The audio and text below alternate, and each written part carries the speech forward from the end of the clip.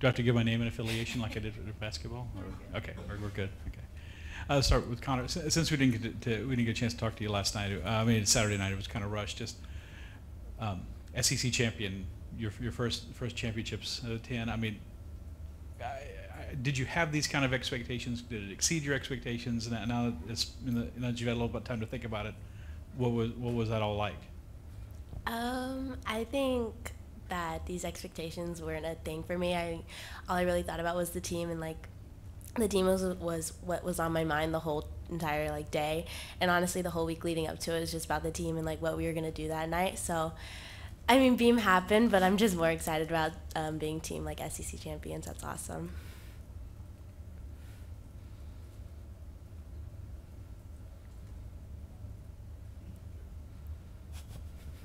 um, y'all, y'all were on all, all night. It was it was a tough it was tough competition. I mean, it was you were nip and tuck with Alabama, and then Kentucky, and y'all fell behind, uh, just a fraction. But going to Florida, just talk about the confidence y'all had as a group going to Florida. And y'all can both answer this. The confidence y'all had going to Florida.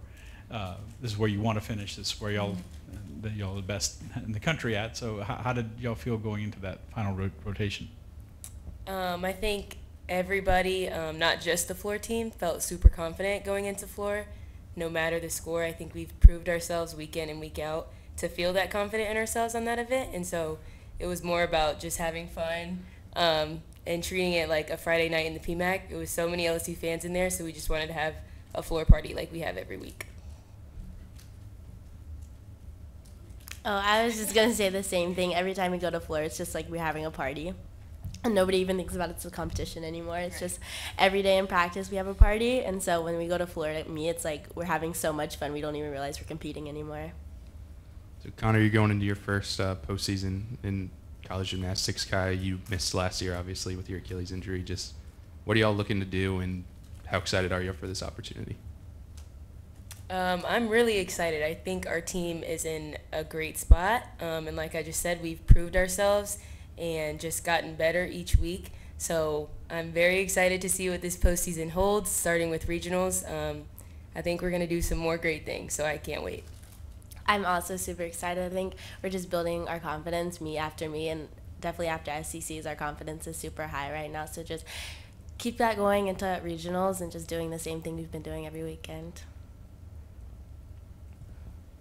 Kyle, you obviously had the uh, the final floor routine to close it out. Uh, Mm-hmm. Did Jay tell you anything before you went out there, or did you he just let you go? Uh, he just told me to be my normal and have fun, which is basically what he tells me every single time. Um, and yeah, I was really excited. I didn't know what the scores or anything was looking like. I knew my team had just done five great floor routines before me, so I really was trying to soak in the moment um, and enjoy it because competing in New Orleans, like at SECs, that doesn't happen all the time. So I really just wanted to take in the moment and have fun. And Konnor, uh, how is it, how important is it for you guys to not look too far ahead, like later in this tournament, like to some of the other teams you guys could play? You guys could run into Arkansas or Kentucky, like teams that you've played before. Mm, I feel like we don't even we don't even look at the teams. Jay tells us all the times it's not about who you're competing against in the moment, it's who you're competing against all around the country, and like that's what we think constantly. So just going to the Arkansas and like remembering that we're competing against the whole country, not just the teams that are there, and just doing the same thing that we be that we've been doing. I know everybody kind of starts fresh in the postseason, but earning that two seed, um, you know, what does that show about this team?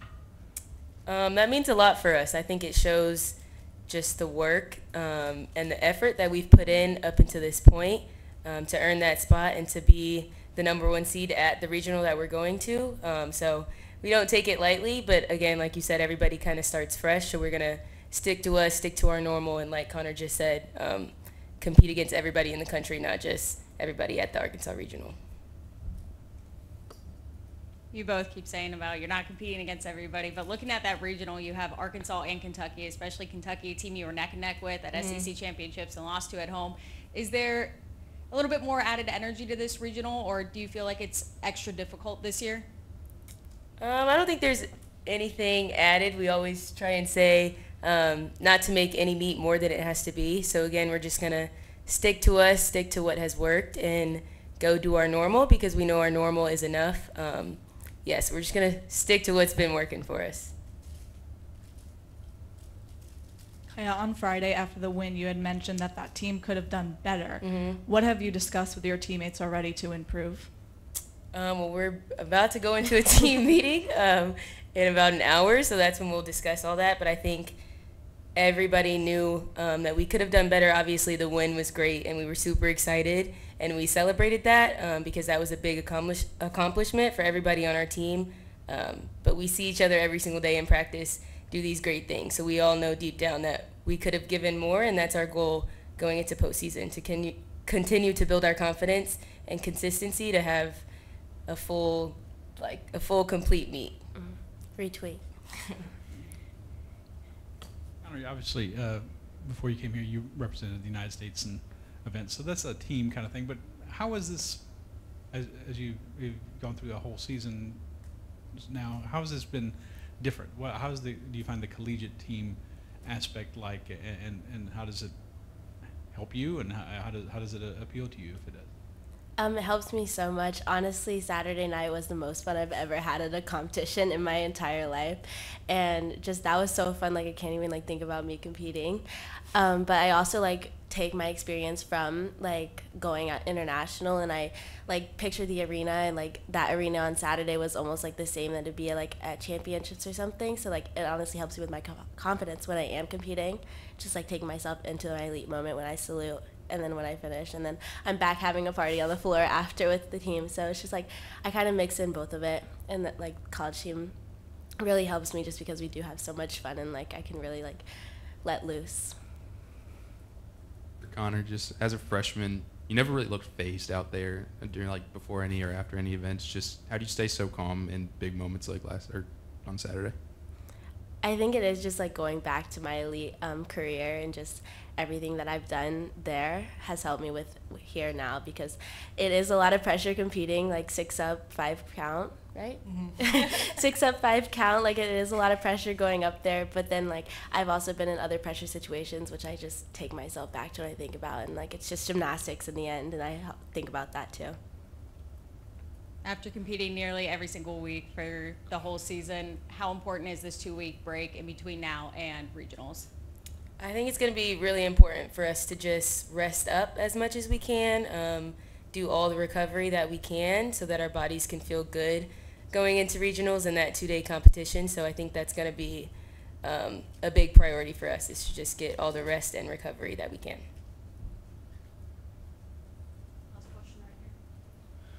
Konnor, I remember this comment Jay made um, about like whenever you're about to go into a routine, he just like he knows that you just get in your flow state and he just lets you go. He doesn't like really say anything to you. How do you get into that flow state? How do you get into that mindset before going out there? I have no idea. It just happens. Honestly, I feel like everybody just stops talking to me after warm up and they know I'm in my like zone and I just lock in and then I'm unlocked and then the next event I'm locked again. So I don't really know how it happens. It's just habit at this point. Thank you. Thank you.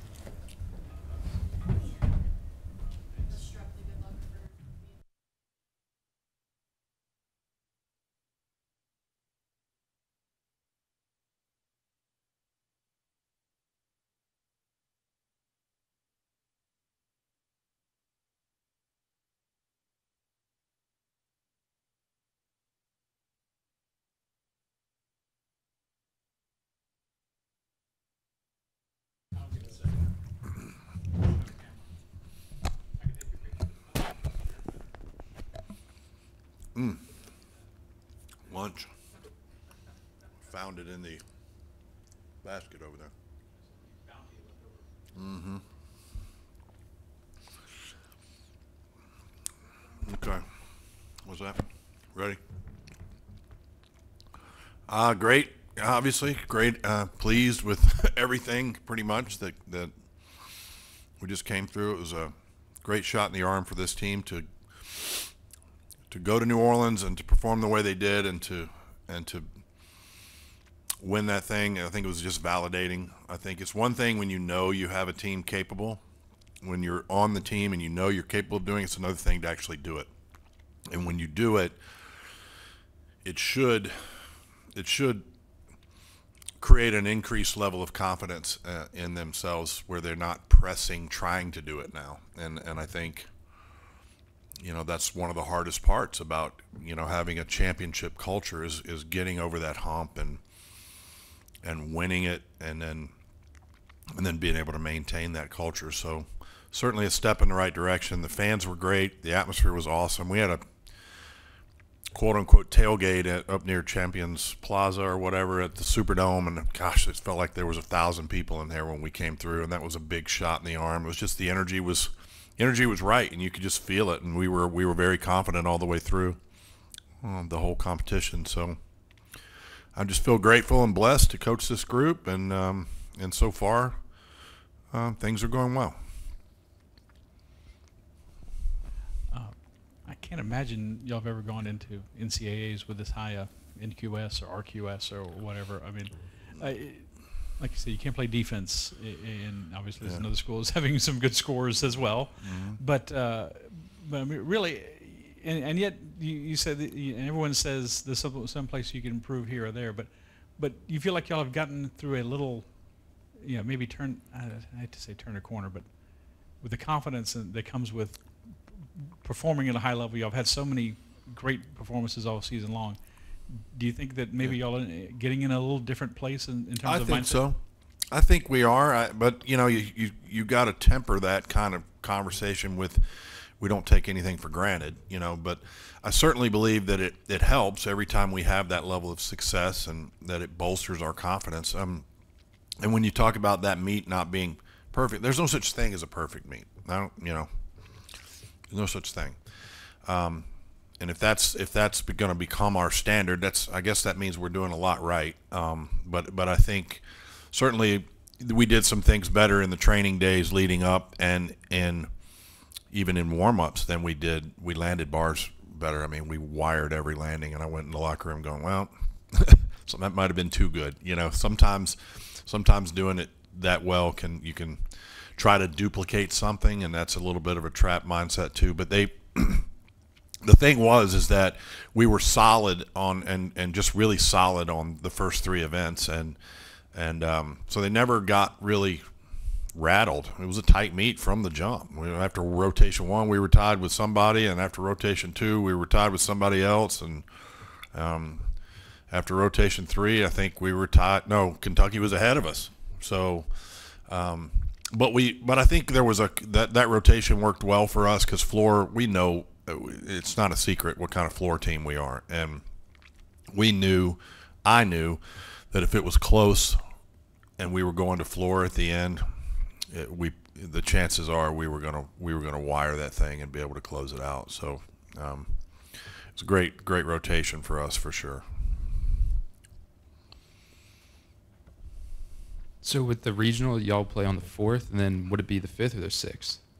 Like back to back days, or you have one no, it's not back to back days. It's um, there's a day off in between. You have to you have to advance to the second day. You have to be a top two in your session to advance to the second day, which would be the round of 16.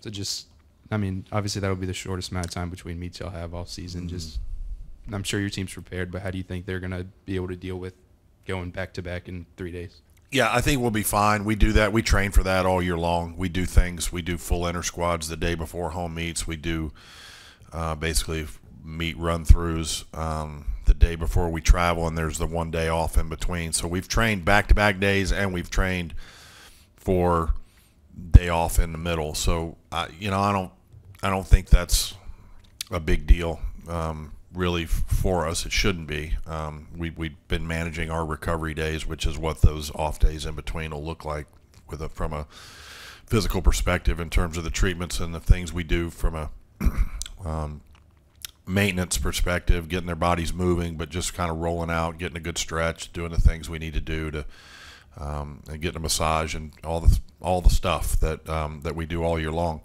So I think we're prepared for that. Um, we're going to mimic that pattern this week as much as possible, um, and we'll train Thursday off Friday and then go again Saturday and just kind of uh, mimic that a little bit. Not not right down to the fact that we do a full inter squad necessarily, but we're going to keep the group together and try to create good energy and and um, and just mimic it as much as we can from a timing perspective. Uh, what are your initial takeaways from your region? I mean, there's no such thing as a uh, really. I mean, the, with this format, um, there's no such thing as a as a easy region or a.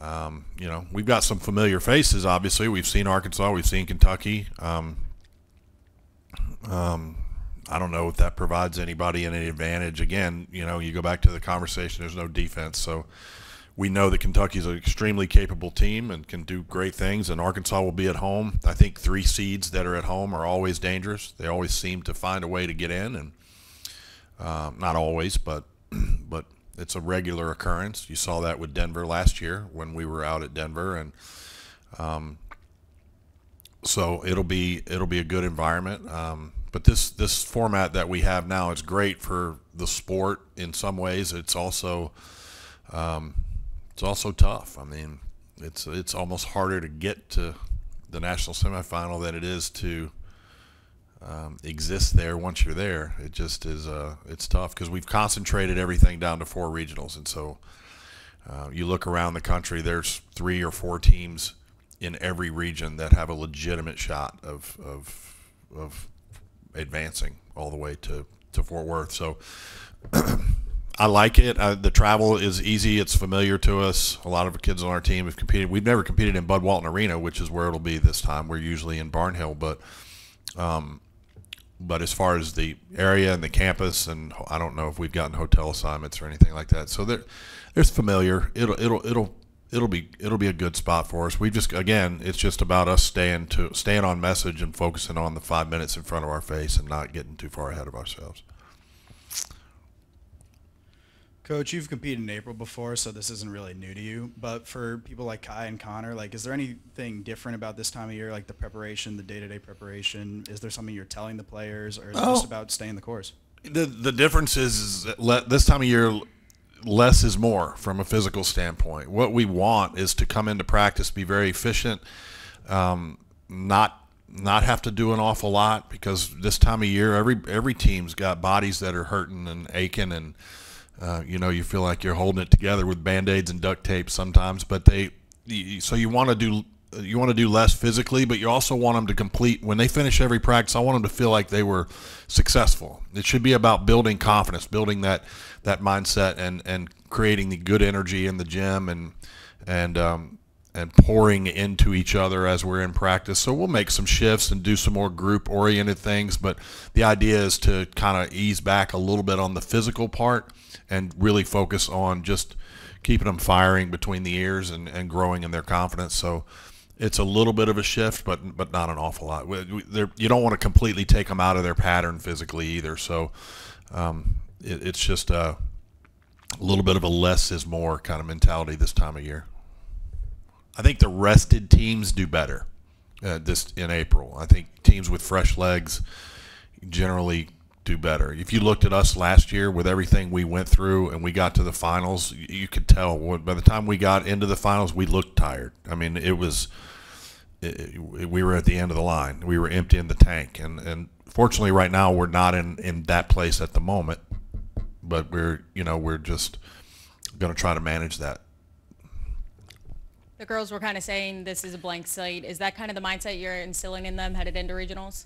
Yeah, it is a blank slate. Uh, the rules are designed as such. It's not like baseball or basketball or or softball or other sports where if you're a top seed you get to host or you're a top seed and you've earned it all year you get to decide what rotation you get and everything. It's a bone of contention for me. It always is with our at our convention that we don't operate that way. We draw things out of a hat and so we'll start on vault the first day, I guess, and if we advance, then the second day we start on beam. So it, it there's no real advantage to being uh, a one seed. The only advantage that exists at this point is if you're a host because you're on your equipment, you're in your environment. You know that's where that exists, and so you know I'd like to see us go to a different model if we could go to neutral sites because the parity is so so high in our sport right now. If we could go to neutral sites, an east and a west, and run two different regionals there where you got a Thursday Saturday regional and a Friday Sunday regional and mimic you know mirror that on, on the other side of the country. I think that would um, that would be beneficial or do what baseball does or you know other sports that you know if you you earn that through your regular season in QS and if you're able to host you host. If it, if you're not able it goes to the next school uh, in terms of in terms of that. Um, but you know that's a conversation for another time and it's it's happened over and over and over again it's hard to get any real groundswell of support for for uh, for my opinion is not the most popular I'll just say that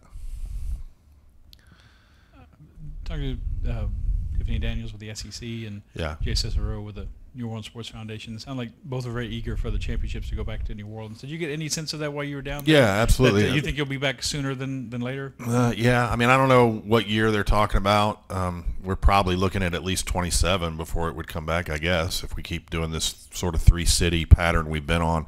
I know we've been looking at other towns too, the conference has. Um, you know, I'd like to see us do a three year deal with a, with a city, whether that's New Orleans or, or Orlando or Tampa or Nashville doesn't seem to have much of an appetite for it because they already have the basketball uh, tournament and the, the Predators would have to give up their arena.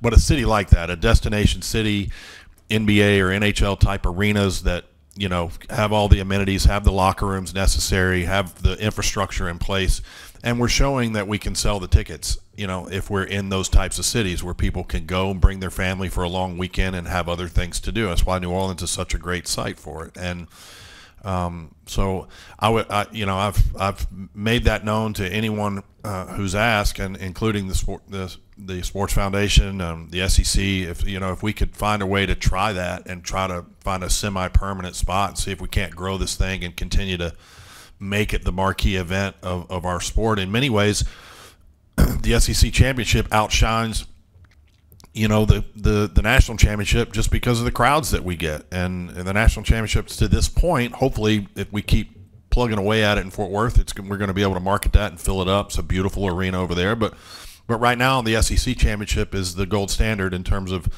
the environment and the and the fun of experience championship experience that those uh, student athletes get and you know, putting it in a destination city like New Orleans is key to continuing that to grow. And I, I hope that we can look at trying to do something like that. The, you know, the basketball tournament's in the same place every year.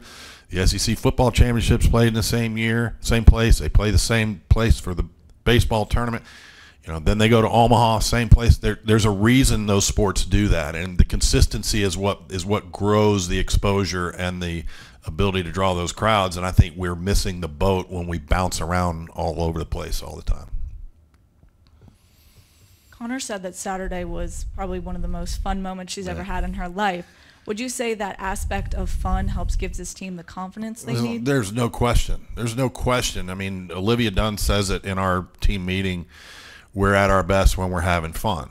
Of course, the flip side of that is we're having fun when we're at our best, right? So it's like which came first, chicken or the egg, you know, kind of conversation. But but I do think I do think when a team is loose and free of mind and fearless and, and having a good time together and that that's consistent with how they train and, and, and how they compete all year long, I do think that that um, that's usually an indicator of a team that's in a good mental headspace. Um, you see a team that looks tight on their face, or a team that looks a little too drawn down and a little too.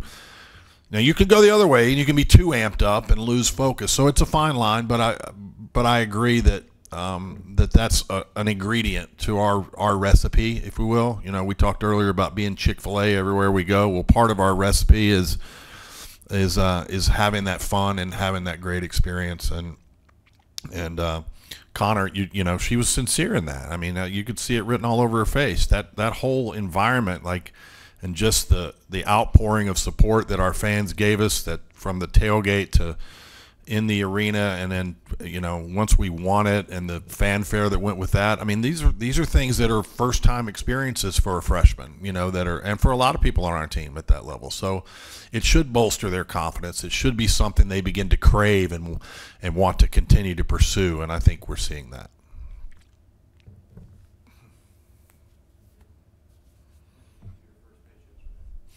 My first pitch was a miserable, epic fail. I, and I look, I, I, I got home from, I got off the bus and went into the gym and set up a little backstop for myself to see if I could get the old rag arm moving again. From I hadn't I hadn't stood on a pitcher's mound since I was in high school. I did, and I was fine. I was doing fine. Like you know, I was bringing it in at a solid 47 miles an hour or something. You know, and uh, but throwing throwing very accurately at about 60 feet, and went over and one of the guys came out of the dugout let me warm warm up a little bit and just played a little toss with him. Everything's fine, and he comes over. He goes, "You still got it, coach?" You know, and that kind of thing. And I get on the mound and I threw a worm burner. Man, it was. It was it was rough, so I hope I'll get a chance to redeem myself at one time. You know, you get one shot to make the show, and and you blow it. Uh, you know, so I I don't know what to say. The team was around me, and I looked at them. I'm like, it's a good thing you guys don't have to depend on me, right? Because uh, I bounced one up there, and Rabelais texted me and uh, let me know that this is the pitch heard round the world. Yeah.